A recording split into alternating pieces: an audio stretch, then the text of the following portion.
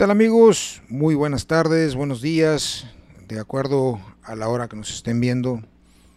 Bienvenidos a este segundo capítulo de Crónicas desde mi estudio.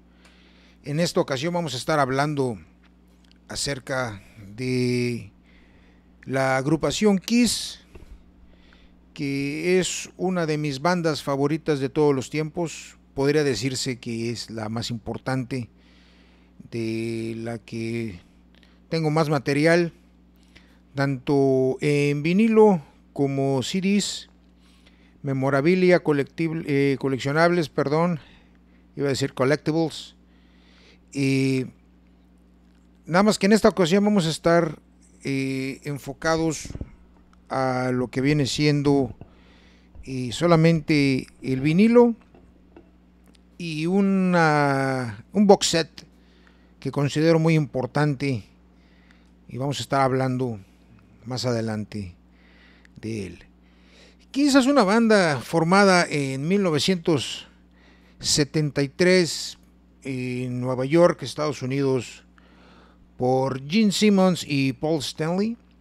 Eh, no vamos a entrar en detalle, nada más vamos a hablar sobre mi trayectoria con ellos eh, marcaron una etapa muy importante en mi vida como coleccionista y aficionado de la música.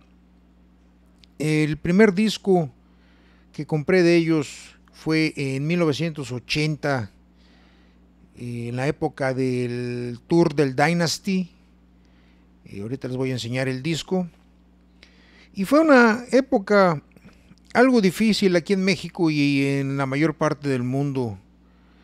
Eh, aquí en México eh, llegaron eh, muy fuerte o pegaron muy fuerte ese año y también fue debido a que cuando quisieron hacer la gira o más bien venir a México para realizar una serie de conciertos, si mal no recuerdo estaban programados dos conciertos y a la hora, a la mera hora les cancelaron por el gobierno, no les permitió ni siquiera ingresar con el tour. Así que nos quedamos con las ganas de, de verlos. Y esto es que debido a que siempre, eh, por su maquillaje, su vestimenta y su manera de, de interpretar a cada uno de los eh, de caracterizar más bien a cada uno de los integrantes, especialmente el demonio Gene Simmons. Eh, me imagino que deben ustedes conocer a la peculiar manera de actuar de este personaje, Gene Simmons, el demonio. Pues fue censurado en, mucho, en muchos países, muchos grupos religiosos, grupos eh, creados por padres para la defensa de los valores familiares, pues lo censuraron y fue una época muy difícil. En lo particular, en lo personal, y también a mí me tocó algo de eso eh, cuando compré el primer disco, pues lo tuve que hacer con mis gastadas, mis ahorros, mis domingos que me daban en esa época. Yo tenía, en el 80 tenía nueve años este, así que, pues cuando le dije a mi papá, no recuerdo si fue a mi papá o a mi mamá que quería que me compraran un disco de Kiss, automáticamente me dijeron que no.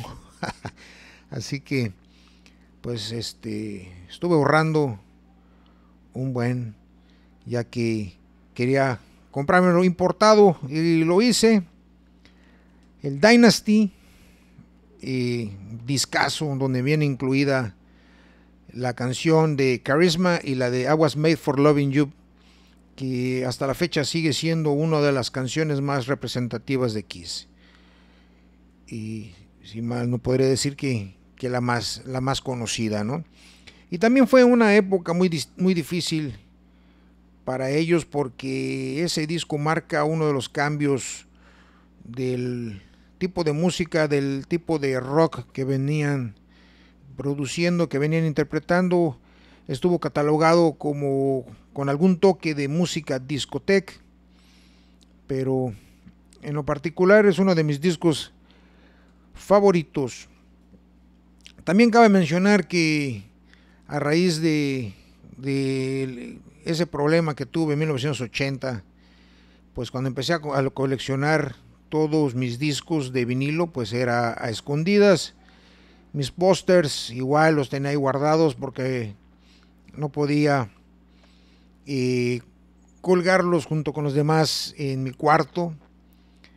Y recuerdo en 1986, si mal no recuerdo, que me decidí a hacerlo, ya con una edad considerable de tomar decisiones por, por mi parte. Y pues lo hice y tuve un pequeño problema ahí con mi madre. Ya después cuando me fui a estudiar fuera aquí de, la ciudad, regreso la primera vez de vacaciones y qué casualidad que me encuentro que todos los pósters los había tirado mi mamá. No, hombre, fue algo, algo que en su momento pues sí me dolió bastante. Ya quedó superado después de, muchos, este, de muchas pláticas con ella. Pero pues, ni modo, son anécdotas que, que quiero compartir con ustedes. Y vamos a empezar con, con lo que vienen siendo los discos. Nada más voy a tomar un sorbito de café. Es algo temprano, estoy grabando este video temprano. Salud. Estoy tomando un excelente café Andati del Oxxo. Es un buen café a buen precio y sin hacer propaganda las otras empresas como que sí se se vuelan la barda con sus precios de un café de... La última vez que me acuerdo que fui, se fue como 5 años. Creo que estaba en 60, 70 pesos un café. Así que enamorado del café Andati del Oxxo. Bueno, vamos a empezar con los discos. Déjenme cambio aquí.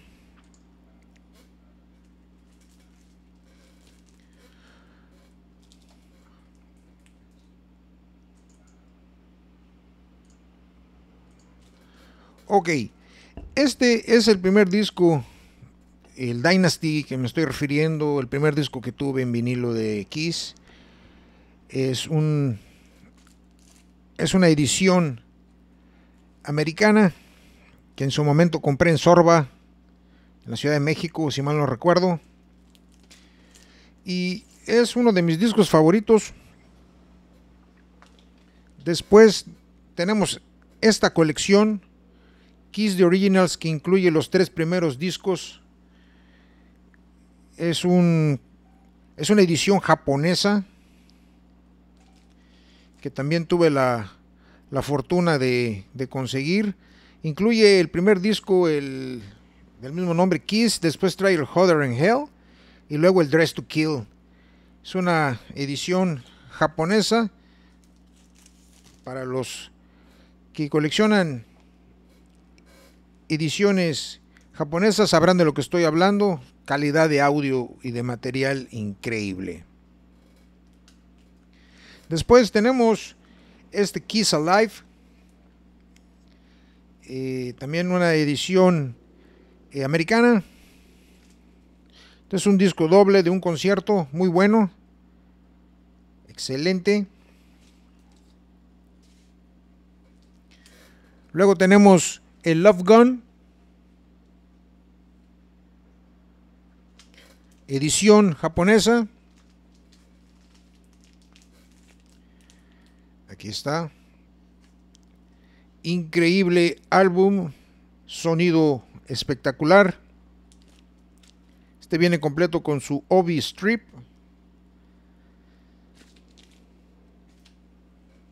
Luego tenemos el Creatures of the Night, edición japonesa igual. Me encantan los discos japoneses.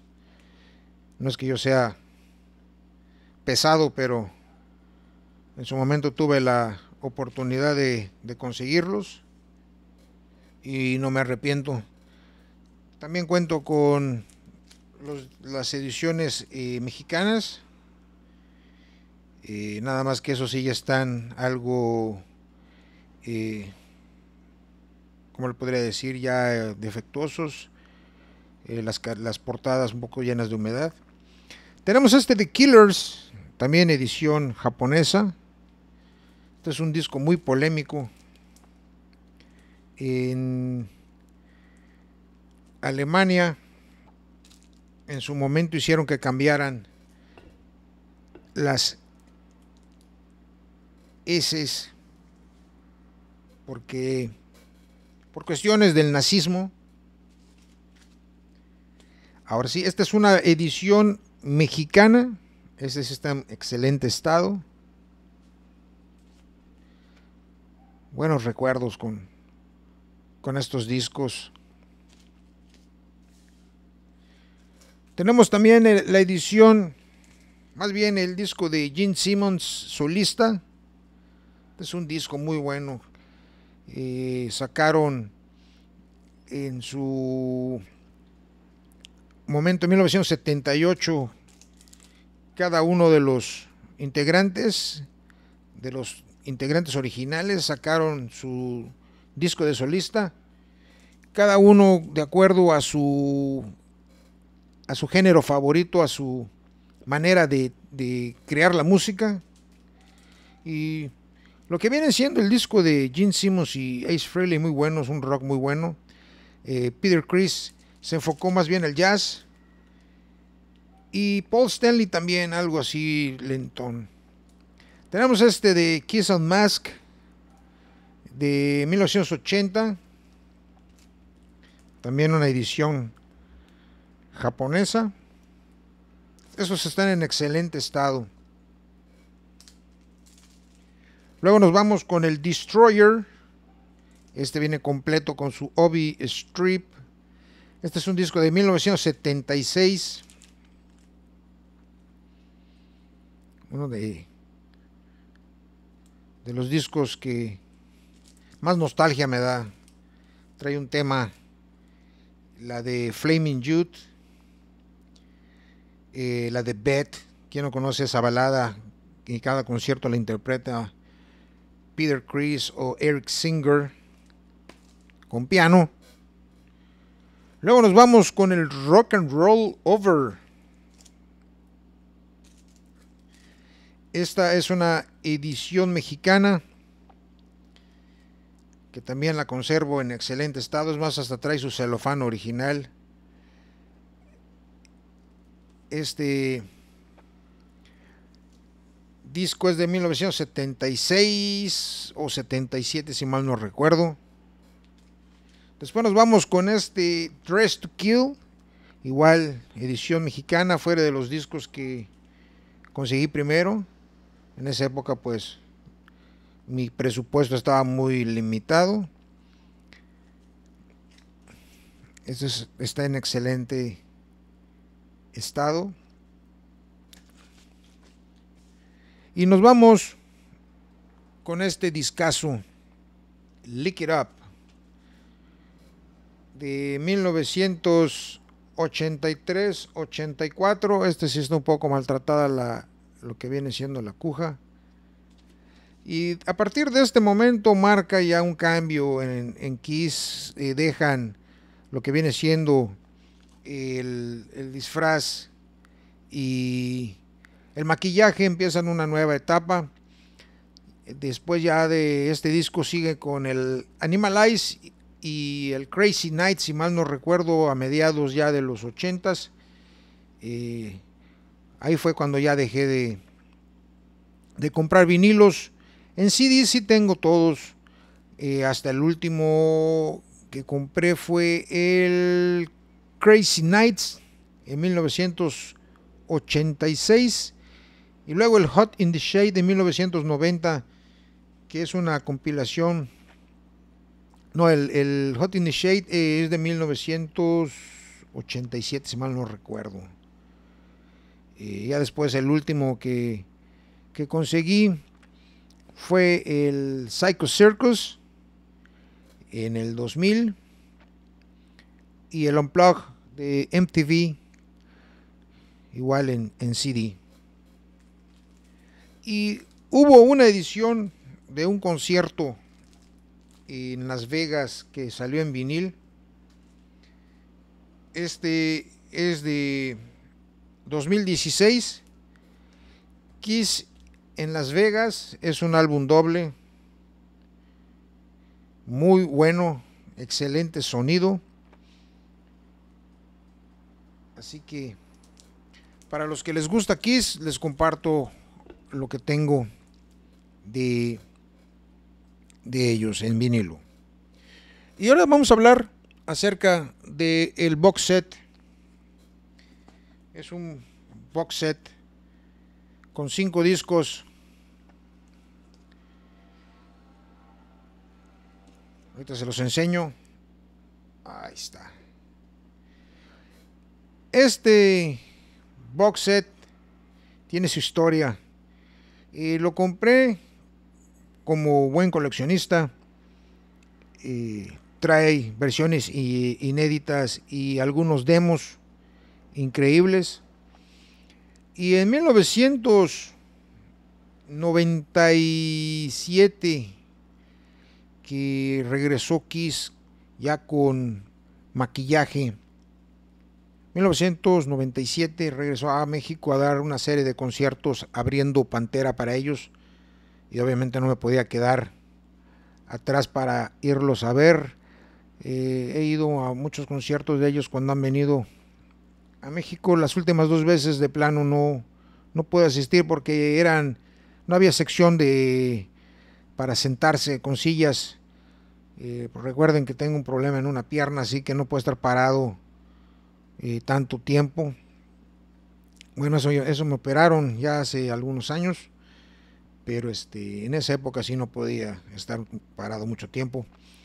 Entonces, cuando los fui a ver por primera vez aquí en, en México en 1997, pues me llevé este box set, obviamente sin los CDs, para que me lo autografiaran. Tuve la oportunidad de que un amigo me consiguió, un amigo muy cercano a ellos me consiguió este, pues entrar a backstage y conocerlos. Tengo algunas fotos con ellos, pero no quise incluirlas porque pues realmente no quise o no quiero hacer más extenso este capítulo. Entonces pueden apreciar ustedes las las firmas originales de cada uno de ellos. Y en su momento fue algo increíble, algo increíble que pasó, poderlos conocer. Siempre fue un sueño que tuve. Bueno, vamos a contestar una pregunta que nos hizo el buen amigo Johnny Palma de Sonido Oxígeno. Un saludo, Johnny Palma. Y nos dice, a ver, déjenme abro aquí el, lo apunté, pero ahí está la. Dice Johnny Palma, ¿cuántos discos cuentas? ¿Con cuántos discos cuentas en tu colección? Saludos desde el Gabacho, y manda saludos para Jorge Patiño y a toda la raza de Veracruz. Mi estimado Johnny Palma, eh, yo colecciono 12 pulgadas, eh, LPs Long Plays, eh, discos de 7 pulgadas y en total tengo un poco más de 3.000 discos, incluidos todos esos que te comento. pero mi fuerte es, son los 12 pulgadas. siempre fue mi, mi adicción coleccionar estos 12 pulgadas. Así que algún día vamos a hacer este, algún día en un capítulo vamos a hacer este uno sobre los discos de 7 pulgadas, tengo tengo bastantitos. Y la mayoría de ellos eh, son de una radiodifusora aquí en, en la ciudad donde también tuve la oportunidad de estar, y de ser cercano más bien con el programador de ese momento. Estamos hablando de 1900, la etapa de 1984 a 1986. Mi buen amigo Vicente Colás estuvo trabajando como programador de la estación XERB y pues gracias a él tuve la fortuna de quedarme con alguno de estos discos. Después ya compré en su momento, a finales de los 80, pues los, los este, las canciones o los discos más bien con las canciones este, sencillas, versiones sencillas. Eh, tengo algunos también. Y, vamos a hacer un capítulo con, con ese material. Recuerden que de eso se trata. Aprovecho también para mandarle un saludo a todos ustedes, al buen amigo Jorge Patiño, como comenta el buen el Johnny Palma, y a todos ustedes vamos a estar preparándonos para el tercer capítulo de esta serie de crónicas desde mi estudio. 20 minutos y los dejo, ya me pasé un poco. Espero que hayan disfrutado de esta cápsula, de este capítulo donde hablamos acerca de Kiss. Tengo bastantes, bastantes cosas, pero no quise eh, que fuera un capítulo tan largo, no quiero que, se me fastidien. Tengo muchos coleccionables, tengo las dos Biblias, el History 1 y 2, que son increíbles, viene toda la historia de ellos, fotos. Eh, hay el History 2 trae todos los, toda eh, los coleccionables que sacaron, increíbles, increíbles, no se imaginan la cantidad de mercancía o merchandise, como le dicen, para vender de que Gene Simmons es el genio ahí de, Kiss. Cosas que, que uno no se imagina. Hasta en su momento existió papel de baño de Kiss. Bueno, los dejo. Un abrazo a cada uno de ustedes. Dios me los bendiga. Y como siempre decimos, hasta la vista, babies. En el próximo capítulo vamos a incluir una sección donde hablaremos acerca de qué pasa cuando al DJ le se enamoran o le muestran este amor por parte del se me cortó aquí el teléfono. Perdón la cámara. Bueno, los dejo. Un abrazo. Saludos a Luis Patiño. Vamos a hablar de él en el próximo capítulo. no, no es cierto, es broma. Abrazo.